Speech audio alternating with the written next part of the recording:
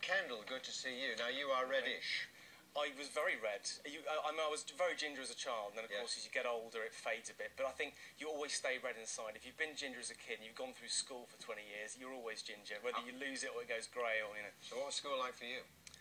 Um, there was a little bit of bullying. I mean, I was lanky, I was spotty, and I was ginger, so there was a very broad canvas my bullies could sort of pick to, to, to sort of rile me on. I mean, it was pretty unoriginal. It was carrot top, it was ginger top, it was ginger nuts, all that sort of stuff.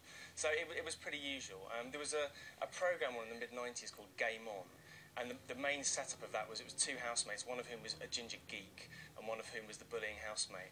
And every Monday it would be it would be aired, and every Tuesday I would get stick the next day for whatever you know the guy had been bullied for. So I mean it was it, it was it was up and down. But I was at a Catholic boys' school with lots of Irish kids there, so we were actually we weren't so much of a minority there. So why do you think it is that people pick on ginger hair, um, youngsters, so much? Because you see, I think it's beautiful. I think ginger hair is absolutely beautiful. But you know, so why do people pick on it?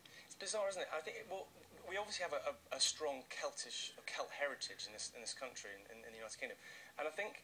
It's, it's funny that it happens here but not abroad. You go abroad, and I've been abroad, to sort of South American places, and people are sort of quite curious by it, and they quite like it. But it, it's quite common in the UK, and it's an obvious it's an obvious difference when you're a kid at school, and you look at you know you're short, you're fat, you wear glasses, you're spot. It doesn't it, it just happens if you're ginger. It's another thing to sort of you know. And yet, there's a sort of acceptance of it here, isn't there? And, and some people I know would argue, actually, or, or beg the question, is it any different to racial abuse? Well, I don't think there have been many kind of ginger hate crimes. We haven't been the victims of slavery I've been one or two, or, um, or, or apartheid. I mean, I think we can we can overplay this a little bit. I mean, obviously it's tough, and the, and the story that you're talking about this morning, with this young chap Tyler, it's incredibly sad, and, and and that isn't just name calling. That is that is sort of harassment and bullying, and he's gone through a horrific time. We clearly shouldn't underestimate the, the pain that him and his family have gone through, and it certainly sounds like the school perhaps haven't dealt with it necessarily in the most effective way by removing him from the classroom. That's not dealing with bullying, that's removing the problem rather than sort of confronting it.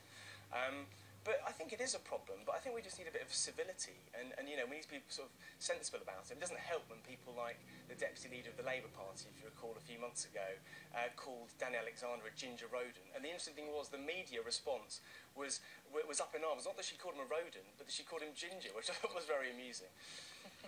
Good to see you. Thanks very much, Steve, yeah. And congratulations on surviving it.